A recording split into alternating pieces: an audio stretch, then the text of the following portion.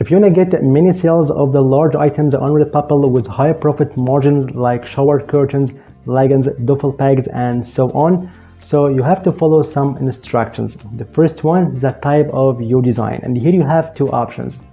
The first one, you can upload your design, which is a pattern design, a pattern of anything, a pattern of cats, dogs, pineapples, and so on, like in this amazing sale, leggings for pineapples as here your profit margin would be $8 as you see.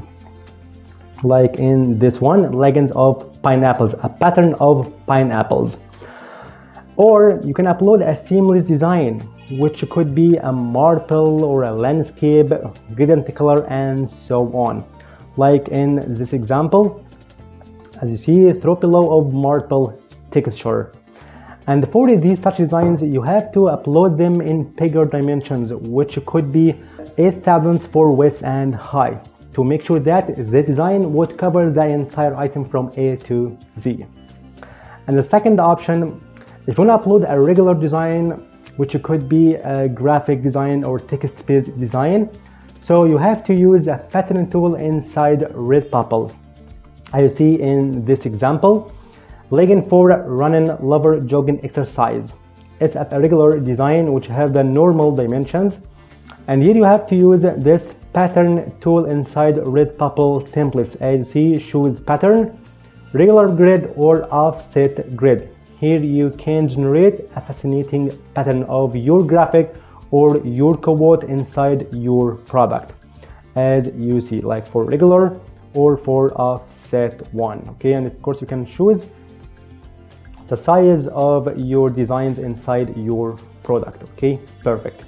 Second tip you have to enable all items on redbubble starting from stickers pattern through t-shirts duffel bags masks and so on because don't know what product your customer would love your design on. It could be shower curtain it could be leggings it could be mask and so on. Number three you have to make your default product either an optimized product or your large item like leggings or shower curtain or tapestry. Number four, you have to optimize your design for SEO on Redbubble to make your design show up in the marketplace of Redbubble to get more organic sales. And of course, I have talked about in many videos how to optimize your design regarding title, description, and tags. And of course, you can find all these videos below in the description box. Number five, if you want to promote your product on social media, whether on Instagram, Pinterest, Twitter, Facebook, and so on, here you have to use professional mockup to showcase the beauty of your design in your product. Because professional mockups play a big role in the emotional engagement with your customers. And to the end, I hope you enjoyed this video. Thank you for watching. If you have any question, you can leave us a comment section. See you in the next video.